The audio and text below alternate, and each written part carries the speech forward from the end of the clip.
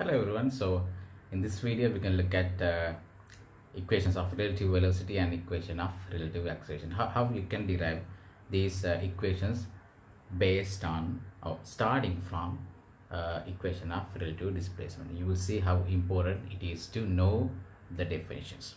Okay, so we'll start with this. We can use the same example as before. Right, so it's the same example as before but uh, I have extended few parts here. You have three locations and now uh, you have five locations A, O, B, C and B. These are the locations. Now at time at time t equals simple t. At time t equals simple t particle P, P and Q are at B and A respectively. So if you take a snapshot at t equals time t, you would see particle P and Q at these two locations. So after uh, delta t time, after delta t time, you will see that the particle P and Q would be at these two points, point B and point C. If you take a snapshot after delta t time, you would see them at these two points. So that's why uh, I mentioned t equals t here and here and t equals t plus delta t here and here. Now uh, you can write uh, the equations of relative displacement for uh, the when when the particles are at uh, uh, B and A this point that that means when the time is at t equals simple t. So if you write this now you know that the displacement changes so displacement is a function of time that's why I used is uh, within brackets t here. This is a function of time. Now you want to know uh, the relative displacement between particle p and q. So we can write the equation.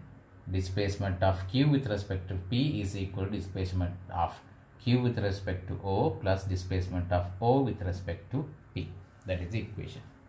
So these all uh, are related by time when, when, t equals t.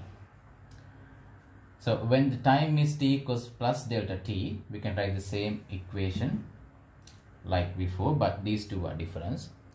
So uh, I want to know how fast particle q is moving away from particle p because now as depicted in the diagram, it, they are moving uh, away from each other. So I want to know how fast it is changing, how fast the relative displacement between these two particles are changing. What is the rate?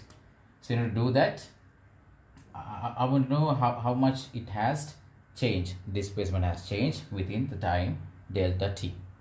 So, what I'm going to do here is that I'm going to uh, take the difference between 2 and 1. So, 2 minus 1, this equation. So, just uh, I'm going to divide by delta t because you know how to obtain uh, velocity from displacement using uh, differentiation. So basic, the fundamental idea of derivatives. So if I do this, I would get S Q P T plus delta T minus S Q P T is equal to uh, I'm going to divide it by delta T as well. This is equal to SQO T plus delta T minus SQO at T. And plus SOP T plus delta T minus SOP at T. So they are all divided by delta t. So what is my next step? So if you want to know uh, how fast it is changing, the rate of change. So this represent, this ratio represent the change in the displacement between particle B and Q uh, when the time has elapsed by delta t. This is uh, the, the change in the displacement of Q with respect to O, right? with respect to fixed position uh, the, uh, the difference between the displacements after delta t time and this represent the uh, relative displacement of O with respect to P. Right. So now what I'm going to do here is that, uh, let me just, sorry about that, get rid of this. If I were to take the limit, if I were to take the limit, because I, I, I want to know what happens uh, when delta t tends to 0 limit as delta t tends to 0 all these equations. Limit delta t tends to 0 this ratio and uh, okay limit delta t tends to 0 sorry about that. Now what is the meaning of this?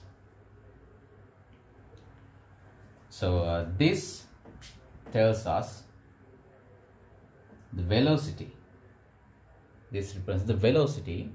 So we define this ratio when when the limit of delta t tends to 0 we define it ratio as velocity of q with respect to p. This is the relative velocity. Now this is no longer an instantaneous velocity as it was defined previously which was defined with respect to fixed point uh, fixed point on the ground.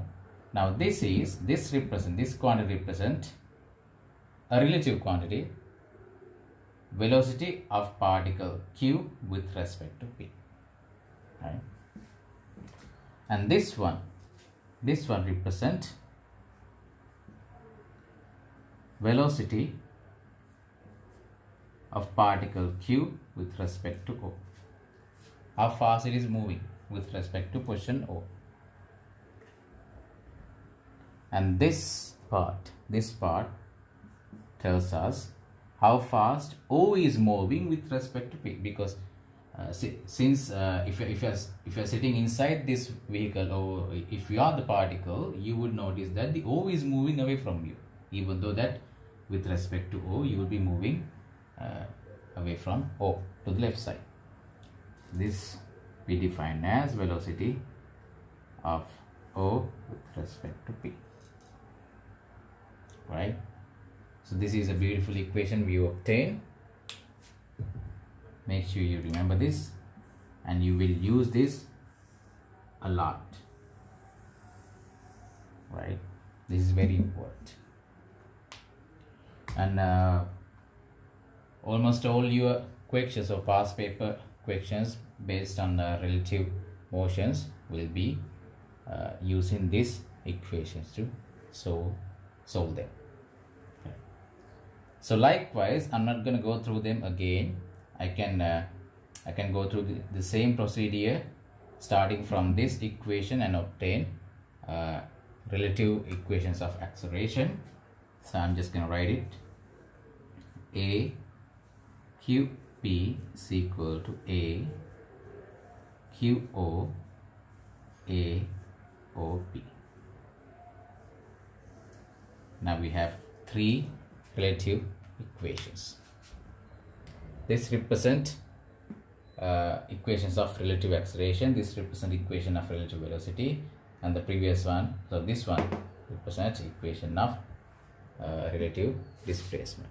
So usually we uh, we have problems where the relative acceleration is zero. That means the velocity uh, is not a function of time, right? But displacement will uh, uh, obviously be a function of time because uh, there are moving objects. If the acceleration, relative acceleration is zero, then uh, the relative velocities will not change. So we will look at relative accelerations under forces on, under Newton's law. Okay, thank you for uh, watching the video and uh, uh, I'll try to see if I can uh, do some examples and include them in this lecture series. Okay, see you guys.